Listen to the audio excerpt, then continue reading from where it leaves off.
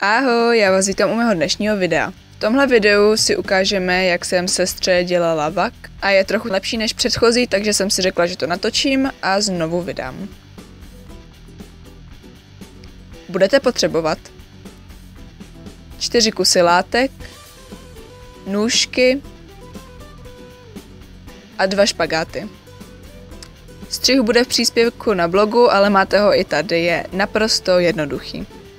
Začneme tím, že si vezmeme jeden větší a jeden menší kus a sešijeme je na straně, která má 40 cm. Sešijeme je rovným stehem, potom ty okraje zapošijeme a nakonec jsem tu latku natáhla a aby mi to neodstávalo, tak jsem to ještě přišila k tomu zbytku ještě jedním rovným stehem. To samé uděláme i s druhými dvěmi kousky. Teď dvě delší strany a spodní stranu dvakrát asi centimetr zahneme a taky přešijeme, zašijeme. Tak, abychom začistili kraje.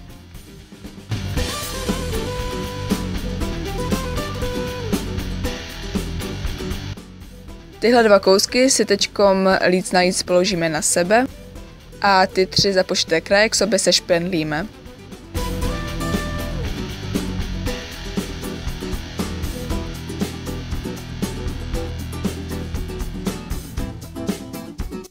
Následovně na každé vrchní straně zvlášť uděláme takový tunílek, který bude tak, já nevím, centimetr a půl až dva centimetry široký a bude jako kdyby dvakrát zahlý, ale to první zahnutí je takové kratší, jenom aby se to jako kdyby začistilo.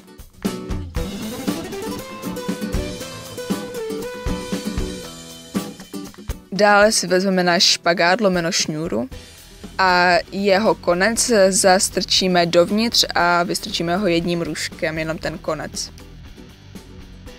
Dále ho povedeme po té jedné straně nahoru a potom ho dáme do toho předního tunílku.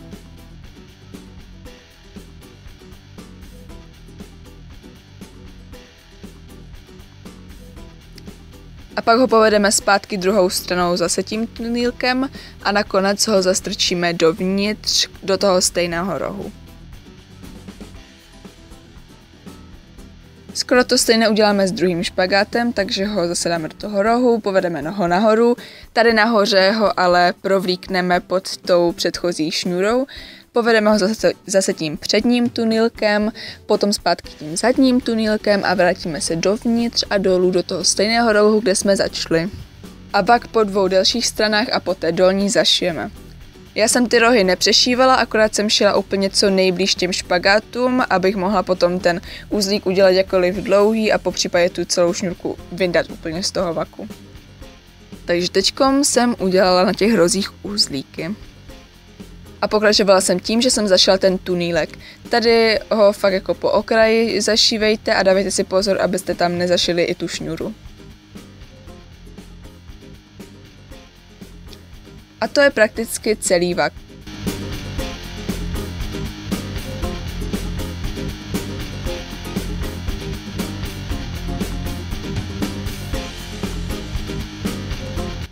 Takže ho teď můžeme převrátit utáhnout a máme hotovo.